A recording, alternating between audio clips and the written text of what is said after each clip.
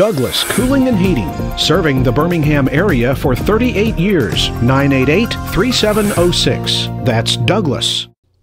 Hey, hey, I'm James Spann. This is the morning edition of the Weather Xtreme video for Tuesday, the 11th of October. Still clouds over much of the state this morning, and again, some chance of light rain in scattered spots today, but probably not very much. Let's check some of the Skycam shots around the network early this morning at the somewhat ridiculous hour of 5 o'clock. That's the Inverness Skycam overlooking Highway 280 coming from the Wingate Inn. Go down to Tuscaloosa. That's looking north from high atop the Tuscaloosa County Courthouse. And down in Chilton County, there's a look at downtown Clanton. All right, we've got the uh, system that has been producing the cloudy weather drifting slowly north this morning. It's over uh, Georgia. And uh, there's a look at the surface analysis. Got this broad 1008 millibar low that's over the northeastern Gulf. And again, on top of that, a pretty good easterly flow pulling in moisture from the Atlantic. And on the radar at 5 o'clock, little light rain, mainly over the Tennessee Valley. Uh, places like Moulton and Decatur and Athens getting some light rain, uh, raining over in Rome, Georgia, uh, pretty moderately at this point. And that's all moving west. And, you know, we'll maintain the chance of a little light rain in spots today. A lot of the guidance has been suggesting the better coverage should be over northeast Alabama. Temperatures this morning mostly in the 60s. the actual numbers range from 59 at Cullman to 68 at Alexander City and Montgomery. And around the nation, coldest air back in the uh, west with that upper trough out there. No uh, organized severe weather expected today, although thunderstorms are possible on along the southern half of the Atlantic coast and across the nation's midsection. And the rain for the next five days. Amounts vary from just a trace down at Mobile to uh, maybe a half inch or so up over the northeastern part of the state. And uh, again, most spots are just not going to see that much rain over the next five days, and anything we get probably will be today. Tropics, nothing happening. Yeah, we make it about 10 more days, and just maybe we'll make it through the uh, core of the hurricane season here without too many Gulf of Mexico issues this year. Here's the uh, OZGFS valid at 7 o'clock uh, this evening. And again, you can see the weakness here over the southeastern states, a trough back to the northwest.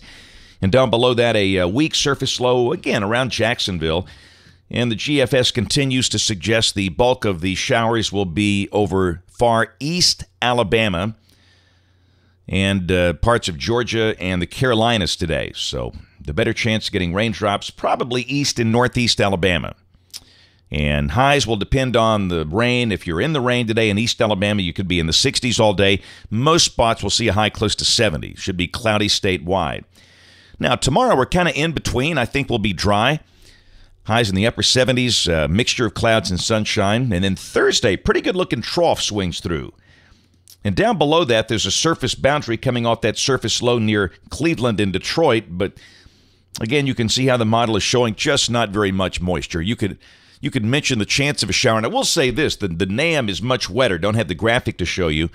But the NAM, in fact, is pretty aggressive with this feature, showing a, a, a, chance of showers and storms on Thursday while the GFS is dry. So, kind of split the difference. We'll mention the chance of a shower Thursday, and we'll fine tune that as we get closer.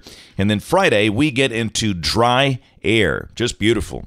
Humidity starts to drop, highs in the uh, mid 70s, and Saturday, a wonderful day to start the weekend. We should be in the upper 40s at daybreak, highs well up in the 70s, low humidity, light wind, just wonderful. And Sunday looks good. Thickness values are coming up. In fact, uh, the low level thickness values are suggesting low 80s on Sunday, so kind of warm. But again, we'll start the day Sunday morning around 50, maybe 40s for the colder valleys. But no rain this weekend. Monday of next week, we stay dry kind of warm, but oh, look at Tuesday evening. This is Tuesday evening at 7. Got a phased trough coming in here. And look at that. That would suggest uh, maybe some pretty healthy thunderstorms, if that's right, Tuesday evening. Uh, with a surface low north of here. Not a classic severe weather setup, but there could be some thunder there for sure, and maybe a strong storm during the National Weather Association annual convention. Got to have some active weather in there somewhere. And then uh, the following day, this is uh, Wednesday, the 19th. Look at the 540 line down to Huntsville. Coldest air so far this season with a good stiff north breeze. Ooh, buddy, for the cool weather fans, that's exciting. Maybe some snow flurries back in the cold air for the Great Lakes, and uh, maybe some good snows around uh, Erie and uh, Pittsburgh if this is right. Wow. Check the end of the forecast, October 26th. Eh, the westerlies retreat north. And uh, we're dry. And look at that tropical system out there in the Atlantic. By golly, that's kind of where they've been all season long for the most part. Recurving systems off the Atlantic coast of the United States. That's it for the Weather Xtreme video today. We'll have notes on the blog. The next video here by 3:30 or so today. And if you are local to us, we invite you to watch us on television this evening, ABC 3340 in Birmingham at 5, 6, and 10. And 4, 5, 6, and 10. Keep forgetting we have a 4 o'clock news now. Thanks for watching. Have a great day, and God bless.